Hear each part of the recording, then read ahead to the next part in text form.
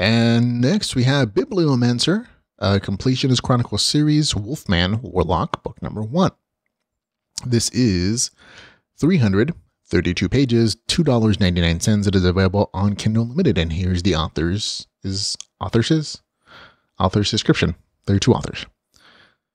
The vaunted power of the Mages College, unbound freedom among the Wolfmen, the best of both worlds. Recent college grad Sam King was hoping for a backpacking trip across Europe as a graduation present. Instead, he's going to get a different kind of trip a three month stint in the ultimate immersive gaming experience. As a lifelong geek, gamer, and outsider, it's a better gift than he'd ever dreamed. But when he jumps feet first in the world of Eternium, run by Cal, the certified altruistic lexicon, it's not exactly what he expected. All he wants is to quest, game, grind some levels, and get his hands on some awesome loot. You know, have fun. But the Mage's College seems to have a very different definition of fun, one involving study, blisteringly strict regulations, aristocratic hierarchy, and tons of pay to play. Sam crosses the college and finds himself running for his life with a back talking book that is far more than it seems, and a class that no one has ever heard of.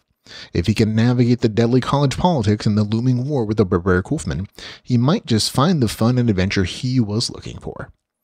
So there we go. Again, this is written by uh, James A. Hunter and Dakota Krout. Um, they co-authored this, and they're both some both one a couple of my favorite authors. They're really good guys. I've had a chance to, to meet them several times and do all their interviews. Um, so I was really jazzed about the story. Uh, full disclosure, I should tell you that I received advance copy for review. I absolutely purchased when it became available, though. Uh, this is a side story set in the Completionist Chronicles universe. Um, the main character is an original one created for the series, someone that will likely become an antagonistic force for the main series. And I say antagonistic intentionally because I don't think he's going to be a bad guy as much as an opposing force for main character in the other series. Um, he's just not a, he's not an evil character. He isn't. Um, although I could potentially see something like the Osmark situation happening in like the um, Viridian Gate series, which is what James Hunter uh, series that James Hunter writes, where it's it's a, it's a complicated situation eventually. But for right now in this book, it, he comes off very heroic, um, very much with his own ideals and his own. He's just playing for a different side than what the main character is playing for. So I'll just wait and see what actually turns out with. Um, I'll admit right off the bat, I again I had high hopes for this. I was super excited because again, two authors whose stuff I really enjoy are working together to create a story.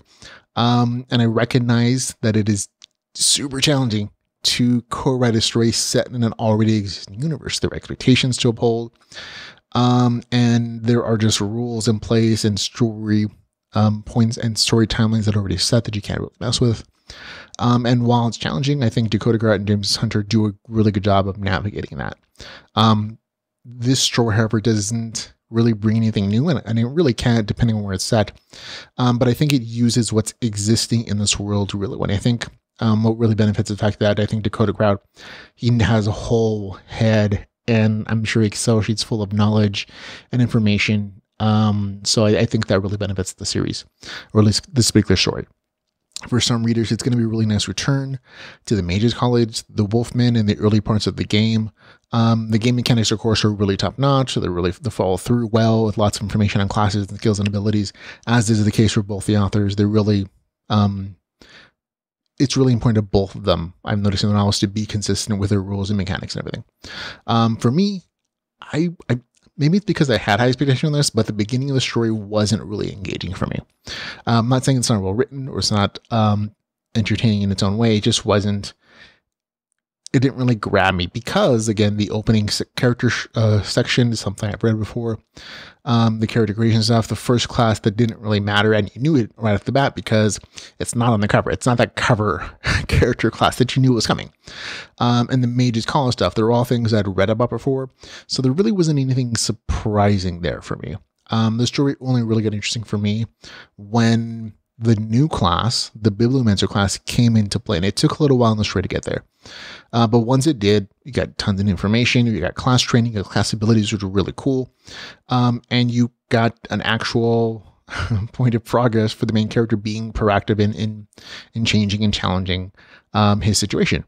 Uh, the story took turns um, that I thought it would. It was, it, I'm not saying it's predictable, but you could tell there wasn't a ton of room for him to for this main character to change because the big changes in this story universe were set in a different series with a different main character. So there's only so much room that this character had to um to mess with stuff. You know what i mean?